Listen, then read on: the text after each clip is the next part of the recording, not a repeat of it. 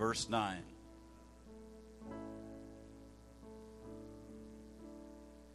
A little leaven leaveneth the whole lump. You may be seated. You're dismissed.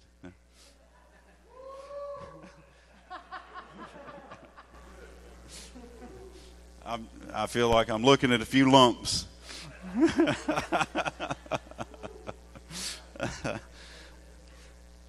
little leaven leaveneth the whole lump, and a little yeast, just a little yeast. I don't know how many of you have ever baked bread before, and uh, once or twice a year we we break some un, or we we bake some unleavened bread back here in the kitchen for communion, and we're going to be doing that very soon and I'm looking forward to that. But we don't put any yeast in it. We don't put any leavening in it because if we did, you would have uh, biscuits instead of unleavened wafers.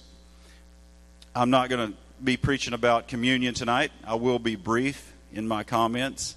I know that you're all tired after staying up till three o'clock in the morning, so.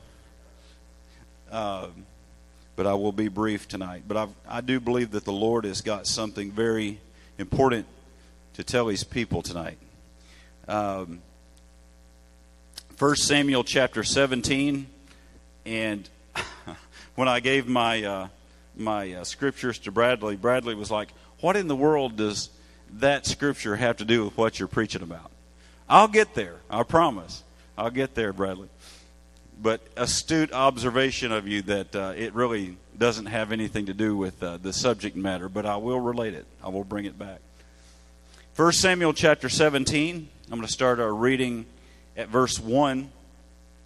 Now the Philistines gathered together their armies to battle and were gathered together at uh, Shochoh, which belonged to Judah, and pitched between Shochoh and Azekah uh, in. Mm, Ephes Dammim, okay? And Saul and the uh, men of Israel were gathered together and pitched by the valley of Elah and set the battle in array against the Philistines. And the Philistines stood on a mountain and one on the side, and Israel stood on the mountain on the other side. And there was a valley between them. And there went out a champion out of the camp of the Philistines named Goliath of Gath, whose height was six cubits in a span. He was nine foot nine inches tall. Now, Sam, you're pretty tall, but you're not nine foot nine inches tall. And he had a helmet of brass upon his head, and he was armed with a coat of mail. And the weight of the coat was 5,000 shekels of brass, and he had greaves of brass upon his legs, and uh, a target of brass between his shoulders and the staff of his spear was like a weaver's beam. And his spearhead weighed 600 shekels of iron, and one bearing of a shield went before him. The one bearing of a shield went before him. And he stood and cried unto the armies of Israel, and he said unto them, Why are you come out to set your battle in array? Am I not a Philistine, and you servants of Saul? Choose you a man for you and let him come down to me. If I be able to fight, if he be able to fight with me and kill me, then we will be your servants. But if I prevail against him and he kill and I kill him, then you shall be our servants and serve us. And the Philistines said, I defy the armies of Israel this day. Give me a man that we may fight. Send me a man that we may fight. And um, when Saul and all Israel heard those words of the Philistine, they were dismayed and they were greatly afraid. Say with me, greatly afraid. Now, David was the son of that uh, Ephrathite of Bethlehem, Judah, whose name was Jesse. And he had eight sons, and the man went among men, or the, and the man went among men for an old man in the days of Saul. In other words, uh, Jesse was old. And the three eldest sons of Jesse went and followed Saul to the battle. And the names of these three sons went to the battle were Eliab, the firstborn, and the next uh, unto him was Abinadab, Abinadab, Dab, I'm sorry, and the third Shema. And David was the youngest, of the three eld- and the three eldest followed Saul. But David went and returned from Saul and fed his father's sheep at Bethlehem. And the Philistine drew near morning and evening and presented himself forty days. And Jesse said unto David his son, Take now for thy brethren ephah of this parched corn and these ten loaves, and run to the camp to thy brethren, and carry these ten cheeses unto the captain of their uh, of their thousand, and look how they how thy brethren fare. Check out, see how your brothers are doing, and take their pledge. Okay, uh, take them some food, and take them uh, their pledge, uh, but check on them for me. Now Saul and they and all the men of Israel were in the valley of Elah, fighting with the Philistines. And David rose up early in the morning and left the sheep with a with a keeper, and took and went as Jesse had commanded him. And he came to the trench as the host was going forth to fight and shouted for battle. For Israel and the Philistines had put the battle in array, army against army. And David left his carriage in the hand of the keeper, in the uh, keeper of the carriage, and ran into the army and came and saluted his brethren. Okay, so we are we're looking at a picture here to where David was brought in, he was delivering some snacks to his brothers. His father said, Go to where the valley is, to the battle, and deliver this food to your brother, to your brothers, and check on them. See how they are. Don't you know that back home, old Jesse was worried about his boys? I worry about my boys all the time, and they're not in a battle. Uh, skip down to verse 28 says uh, and eliab he's the eldest brother of david heard when he spake unto the men eliab's anger was kindled against david because david was like hey this guy is out here this uh, big heathen is out here and he is tempting the armies of god he's saying send me a man and he's making you guys tremble and and so eliab anger was kindled against david and he said why did you come out here and with whom have you left those few sheep in the wilderness? I know your pride and your naughtiness of your heart, for you are you art come down that you may see the battle. You came down here to just be a spectator. Uh, you came down here to just see what was going on. And David said, What have I done now? Is there not a cause? And I ask you that tonight. Is there not a cause? And he turned from him toward another and spake after the same manner. And the people answered him again after the former manner. And when the words were heard which David spake, they rehearsed them before Saul, and he sent for him. And David said to Saul, Let no man's heart fail because of him. Don't be afraid of this Philistine. Thy servant will go and fight with this Philistine. And Saul said to David, You're not able to go against this Philistine to fight with him, for you are but a youth and he a man of war since his youth. Now, David then went into his account of his encounters with the lion and the bear. And he said, You know what? I have, while tending my sheep, I have come in contact with a lion, which I slew, and a bear, which I slew, and this uncircumcised Philistine will be no different. You all know the story. And his brethren, his brother, he came in, you know, when David walked into the camp, he had he was a brilliant musician. And I'm sure he was a singer as well. And uh, he, I'm certain that whenever he was tending his sheep, he had been singing, he had been praising God, he had been uh, uh, worshiping God in the song. You know, music's very powerful. Music is a very, very powerful thing. I know that some of you came in here very tired from staying up all night. Some of you came in here uh, happy that your guy won. Some of you came in here mad that your guy didn't. However, you came in here, whenever the music started playing, all of that lifted. All of that went away. All of the the anguish of the day just fades away whenever you start playing the music. So David walks into this camp, and he's he's just Oh, I want to see him look upon his face, you know. And he walks in here and he, he walks into the camp, and there's this big Philistine down there saying, Send me a man. And every time he says that, you can hear the armor clinking. Not because they're in battle, but because they're shaking. They're trembling. You got these big old Israelite boys. You got Saul, the king, sitting in his tent with his armor clanking. Because he was the tallest one of them all. But Saul wasn't going down against this big Philistine.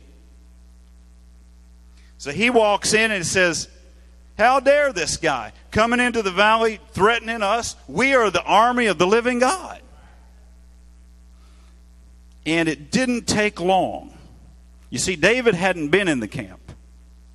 It didn't take long for his eldest brother to say, What are you doing here, punk? Are you trying to get yourself killed? You just came to watch. No, give me my snacks and get out of here before you get hurt. And then he went to Saul because he, he kept on repeating, Hey, I can take this guy. I, I killed a lion and a bear. I can take this guy. So they sent him to the king, and Saul said, Hey, you can't do that. This guy is huge. He's a man of war. He's been practicing war his whole life, and you're just a kid. You're just a youth. You can't beat him.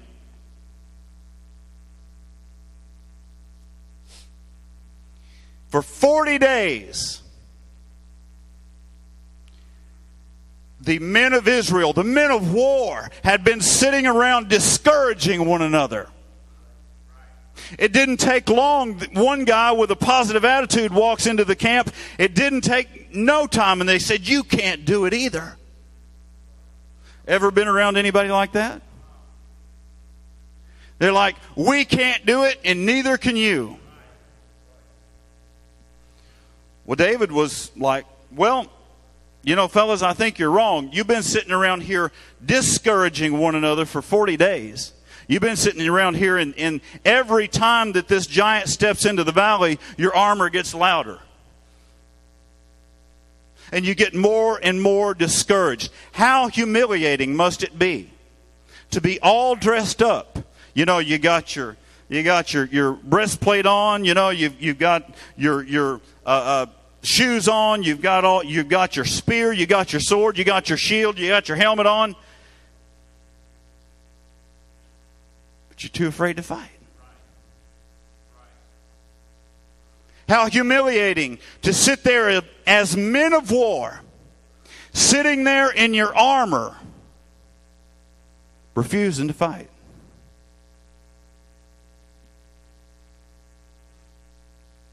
They were afraid of the giant, and they were trying to pass their fear along to David. Fear is a very contagious thing. Fear, frustration, and discouragement are all very contagious. And whenever you have fear in your life, whenever you are dominated by fear, discouragement is its kissing cousin. It's synonymous with fear. So they're sitting here and and whenever what is discouragement? Discouragement causes a lack, uh, just tear the word apart. Discourage. All right, if I want to discourage you, I'm going to try to take your courage. And the first thing, whenever, uh, whenever uh, uh, young David walked into the camp, that's the first thing they did. He walked in with courage. He hadn't been in the camp listening to this negative stuff all the time. You can't do it. We can't do it. God can't do it. They've been sitting around telling each other this for 40 days. And the giant steps in the valley and says, No, you're right. You can't do it. Send me a man, I'll rip him apart. So he walks in with courage, and immediately it wasn't the giant that told him, Hey, you can't do it. The giant said, Step on out here. I'll feed you to the buzzards. It was his own brother that said, Let me take your courage. I want to discourage you. because I am discouraged. I am afraid, so I want to take your courage away so I'll feel better about me. Then went to King Saul, the tallest guy in Israel, and he said, Oh, no, no, no, no. You can't have courage here. You can't beat him. I can't. If I can't beat him, although I haven't tried, if I can't beat him, how do you think? And I'm a, I, I'm a big guy. He was head and shoulders above everybody else. I'm a big guy and I'm a man of war myself. But I can't beat him. So what makes you think you can? And David just told him and said, You know what? I have faith in God. More I'm paraphrasing. I've got faith in God. I might be a young man. I might not be a man of war, but I know that God has kept me through a war with a lion and a war with a bear. And I know that he can keep me beyond this uncircumcised Philistine. Until David showed up with the snacks, there was no courage. The entire army of the living God had no courage. They were discouraged. They had sat there for 40 days being humiliated, being afraid.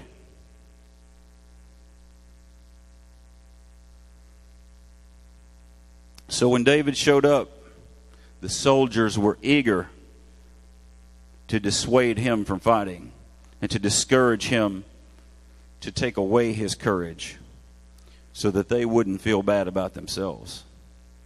And how much worse would it have been they were thinking, we already feel pretty bad because we're too chicken to go down and fight the giant.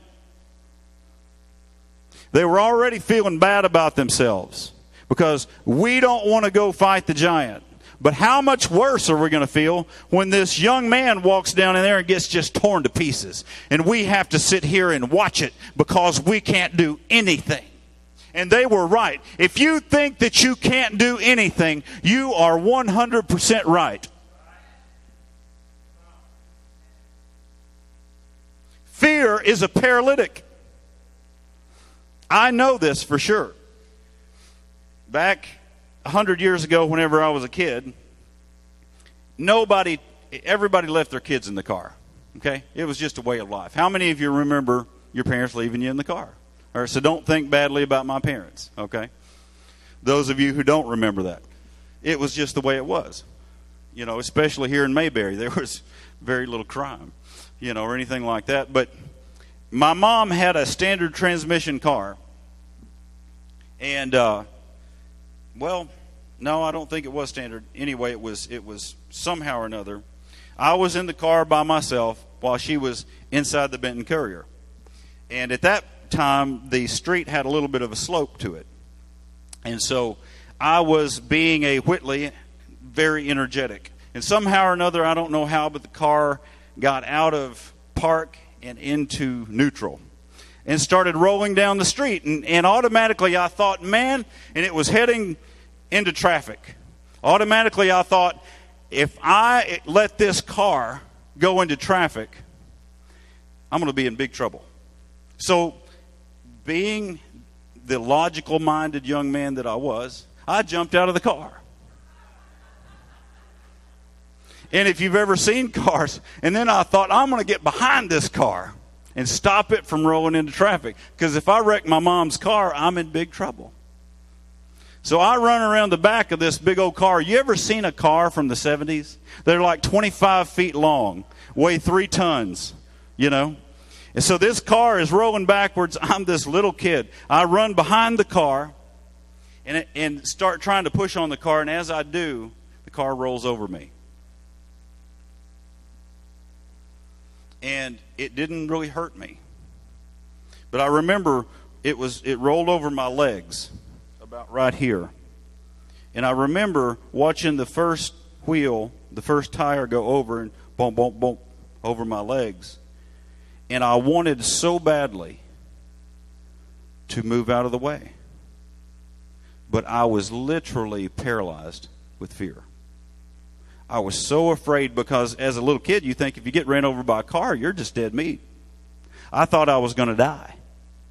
You know, I thought but I was so paralyzed with fear, I couldn't move. So I know what being paralyzed by literally not being able to move. I couldn't move my pinky. I was sitting here, I was perfectly able to climb out from under that car, but I sat there and watched the other tire roll right over me.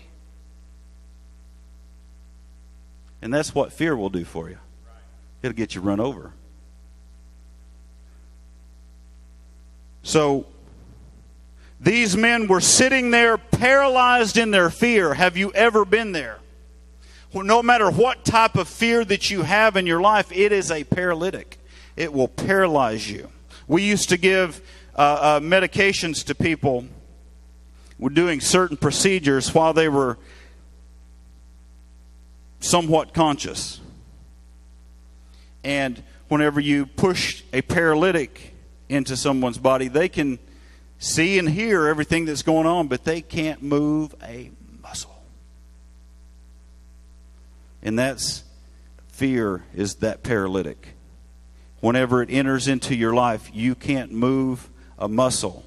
And the army of Israel, the whole army, had been daily giving each other injections of this paralytic called fear. And they were sitting there. The only motion they could make is every time he says, Send me a man, clank, clank, clank, clank, clank. That was the only motion they could make. I, I can visualize that. I got a pretty colorful imagination. But so when David showed up, the only courage there was entered into the camp. The army had zero courage and they wanted to take him, his courage from him by discouraging him. Well,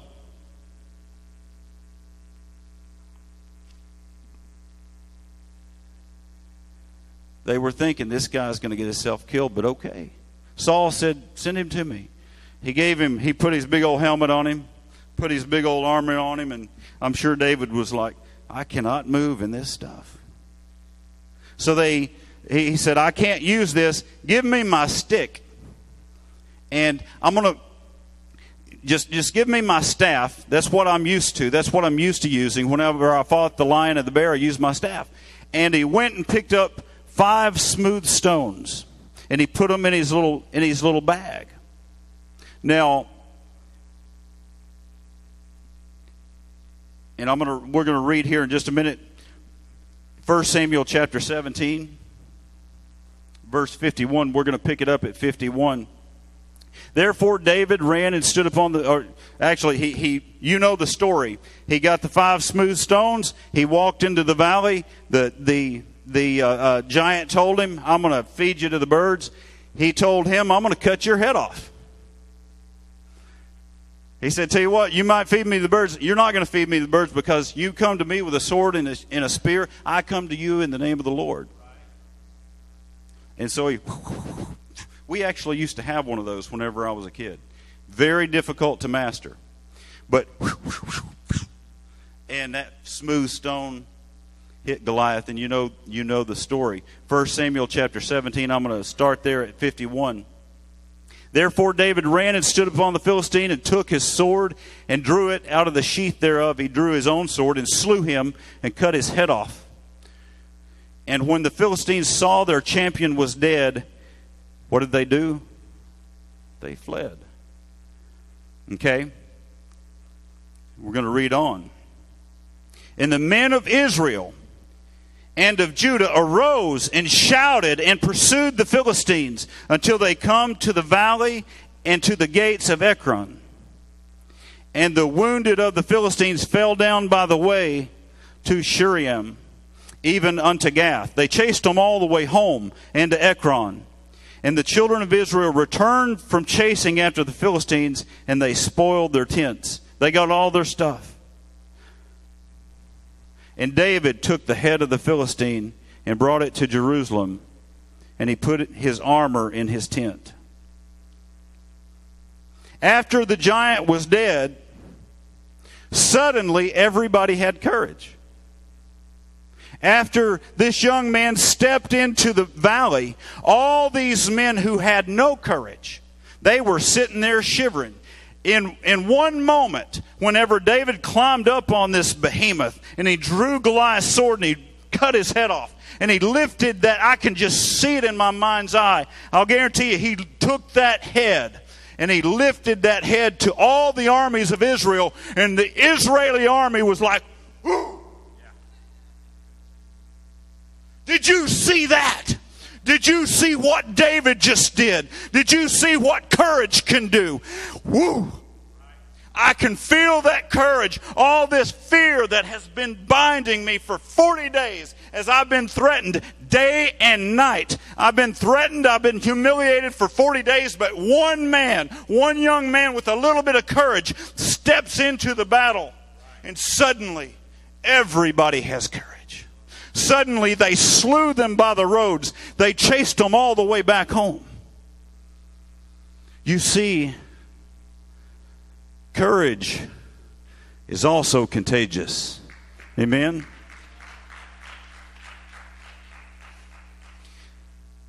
As a little bit of leaven leaveneth the whole loaf, a little bit of courage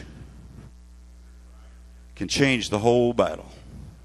Just a little bit of courage. One small young man with a little bit of courage walks in and it changes the whole history of Israel. He, one young man, by having courage, he did not discourage his army. Dis means take away. He encouraged his army, which means to endue with courage, endow with courage. So the actions of one courageous young man encouraged the whole army. And when the when they saw David you know, I, I want to tell you something. When God allows you, and this is a big point in what I'm saying, and, I, and I'm almost done, I'm not very long tonight. But when God allows you a victory, okay? Whenever you over, hey, we all have our own giants. Okay? I've got mine, you've got yours. Everybody has their giant. Everybody, and it doesn't matter whether it is something, whether you were abused as a child, that may be your giant. Whether you have a problem with drugs or alcohol, that may be your giant. Whether you are in the middle of a divorce or you're having marital problems, that may be your giant. Sin, perversion, that may be your giant. Whatever it is, whatever it is, whenever God allows, whenever you step up to the plate and you say, I'm going to defeat this giant, and you do defeat that giant, keep the trophy keep the trophy, take the trophy home, take it to everybody you know and show it to them. Amen? I know those of you, and I, have been involved in, in addiction ministry for a long time now. And I know that once you get over it, once you come out of it, and I'm speaking to a lot of people that I'm just I'm just using addiction as an example. I know a lot of you that have that have overcome that have slain that giant in your life. But a lot of you don't want to talk about it. I just want to put that in the past. I, you know, I just just want to keep that private. I don't want people to know that I used to be that way. I, I don't want people to know that that you know I I had to go to jail because of this. I don't want people to know that I lost everything. I don't want people to know all the bad stuff that I did because I had a craving for this poison. But after you overcome it, tell your story. Show that head to everybody you know. Walk into those rehabs and say, Look what the Lord has done.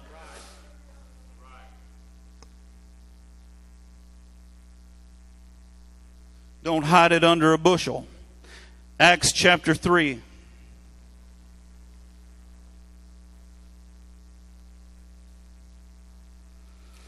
Verse 1 Now Peter and John went up to, together unto the, into the temple at the hour of prayer, being the ninth hour, and a certain man lame from his mother's womb was carried, whom they laid daily at the gate of the temple, when he, that was called Beautiful, to ask alms of them that entered into the temple. You ever felt lame?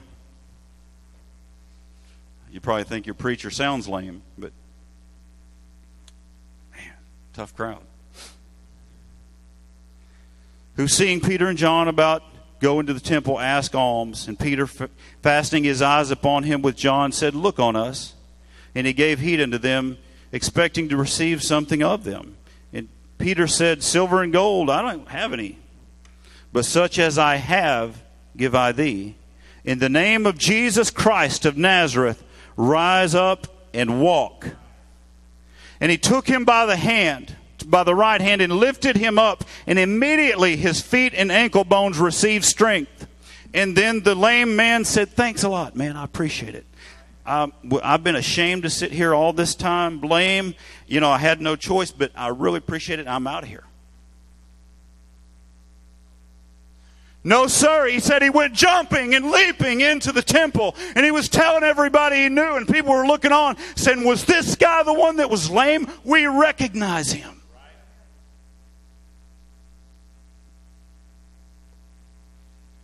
Whenever God heals your body, I know y'all have heard about my knee till you're sick of it. I'm going to keep telling you because I overcame that giant. God gave me the strength to overcome that giant, and I'm never going to quit telling people about it. Everybody that ever comes to me that says, I've got a sickness in my body, I'm going to tell them about that knee because it is a miracle.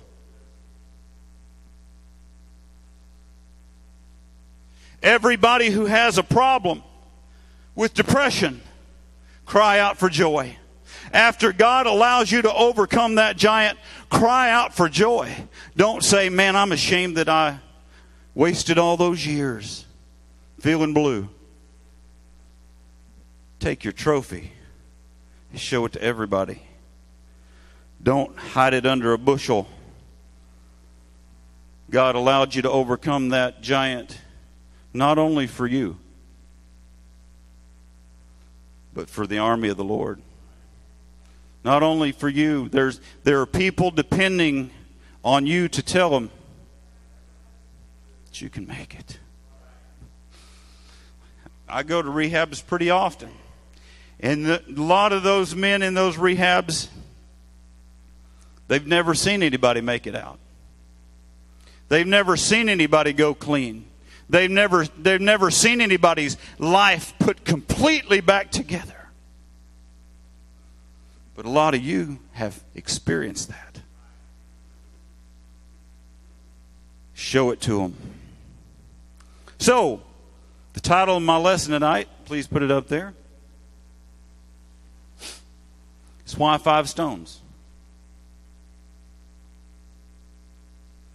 When David stepped into the valley with the giant, Scripture says that he knelt down and he got five smooth stones.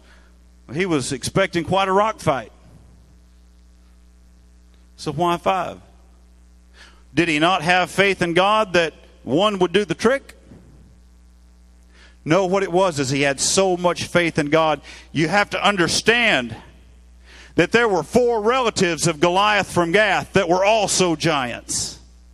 There were four other giants in the army of the Philistines. The enemy was full of giants. He brought enough ammo for them all. I truly believe that he thought whenever I step into this valley and I slay this giant, that his brothers might come after me. So I'm getting four for them.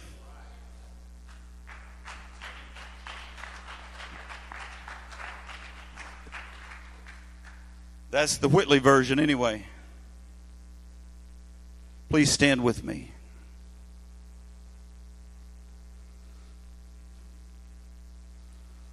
Those four giants did all die.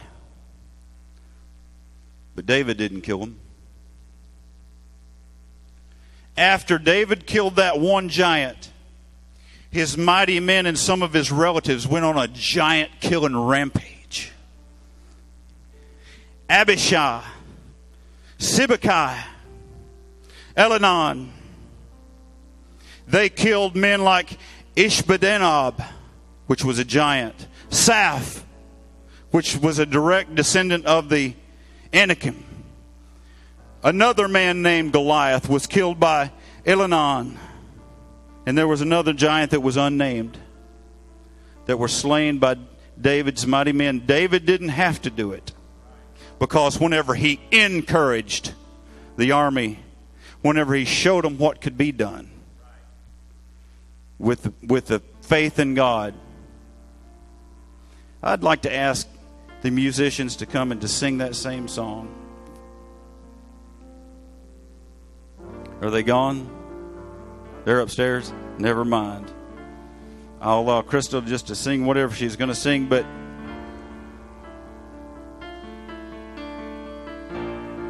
after seeing what David could do, by the grace of God, it encouraged the whole army, and they killed all the giants. I want to ask you to do something. If God's ever allowed, if He's ever allowed you to overcome something in your life, don't keep it private. Share it. Share your courage. Share your victory. Raise the head of the giant that came to kill you. Revelations chapter 12. And I'm done. Revelations chapter 12 and verse 7. And there was war in heaven. Michael and his angels fought against the dragon, and the dragon fought against his angels and prevailed not. Neither was their place found any more in heaven. And the great dragon was cast out, that old serpent called the devil, and Satan, which deceived the whole world. He was cast out into the earth, and his angels were cast out with him. You got to understand these angels that were cast out with him. They were, whenever there were giants in the land, these angels were their father. These demons were their fathers and their forefathers. They were demonic by nature. And I, so you think, my goodness, these, these dark angels, these spirits, these demonic spirits are in the same place we are. They inhabit the same planet that we do. The devil and his angels were cast out. I often wonder, God, why didn't you cast them somewhere else? But his ways are higher than my ways. And I heard a loud voice saying in heaven, Now is come salvation and strength and the kingdom of our God and the power of his Christ, the chosen one. For For the accuser of our brethren is cast down, which accused them before our God day and night. And they overcame him by the blood of the Lamb and by the word of their testimony. And they loved their lives not or they loved not their lives unto death. They were not afraid. Who is he talking about? This hasn't happened yet. We are not afraid. Somebody's got to have enough courage. Somebody's got to have enough courage to step out and say, whenever that giant in your life says, Send me a man, you say, I'm that man. I'm ready to face this challenge. I'm ready to overcome that giant. And after I overcome that giant, I'm going to take my trophy home to show my friends. David never faltered in his life until he quit fighting. When he quit fighting, he immediately began to falter in his life. Made a lot of mistakes after he quit fighting. Never quit fighting. I see that same courage that David must have had. I see that in the eyes of all of these ladies who have suffered so great a loss in the year 2020 and yet are willing to. I mean, we've all suffered, but some of us have suffered a great deal in 2020. Some of us have had a lot of fear in 2020. Some of us have suffered a lot of loss in our family in 2020. But whenever I see these ladies that have lost their husbands and have lost their fathers and have lost their relatives step out into the aisle and walk down and lead the army of Israel into battle. Woo! I see a great deal of courage. Whenever I see Mitzi or Dana O'Con step down here and lead us into battle, into spiritual warfare, it does something for me. It encourages me. It fills me with that same courage, and I'm ready to go. Let's move into battle. If we have courage, we'll chase those enemies all the way back to hell. I just, not very long ago, I just left Jim Akers' house.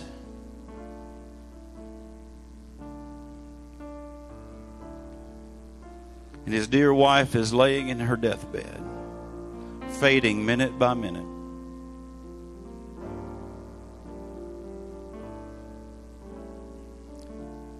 He said to me, I'm so excited about what God is doing. And I'm so excited about what God is about to do. I walk in to encourage him, and he encourages me. Let's worship the Lord tonight. Thank you, Jesus. Thank you, Jesus. Hallelujah. Set our chin like a flint against the enemy. I pray, Lord God, that you would that you would grant us the courage to lead us into battle. Hallelujah. We have giants that we need to slay. We have giants that we need to overcome. But by your grace and by your power, we know that we can overcome them. But not only that, give us the courage to share our trophy with others. Give us the courage to pull that old addiction out and say, Look what I used to be. Look what I have overcome. For us to pull that old habit of perversion out of out and say, Look, young man, look what I overcame.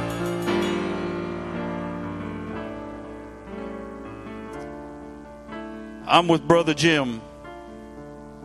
I'm excited about what God is doing. In this year 2020, when everything seems to be going wrong, when everything is just hit the fan, I'm excited about what God is doing. I'm not excited about what God is about to do. I'm excited about what God is doing right now and in our midst. Amen. But if you have a giant in your life, you're not alone.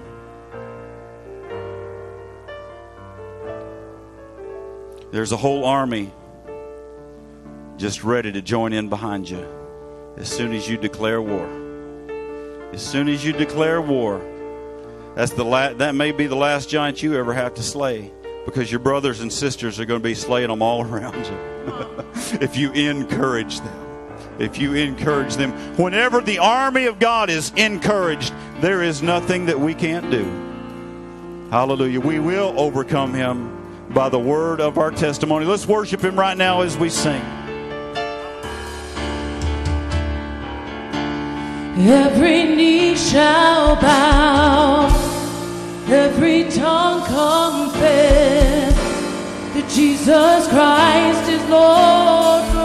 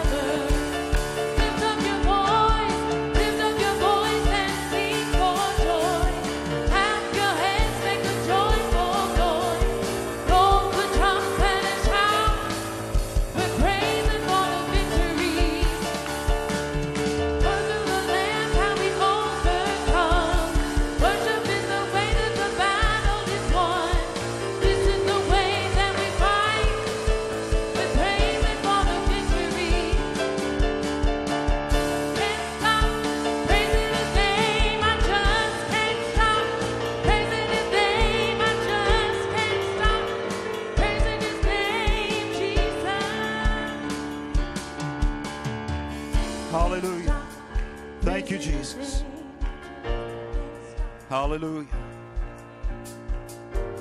You know, the Lord never said, the scripture never says that we won't have to face some things in this life. Matter of fact, it most certainly says we're going to have to endure some things. But I have read all the way to the back of this big book. And I've got really, really good news. That old that old serpent, that old dragon, the devil and Lucifer that seems so big and so bad. And he's got all these all these uh, uh, dark spirits with him. He's got all these giants around him. If you read all the way back to the book, to the end of the book, we win. And we win by the word of our testimony. Amen. God bless you. We'll see you on Sunday. And uh, let's go out into this troubled world and let's be victorious. Amen.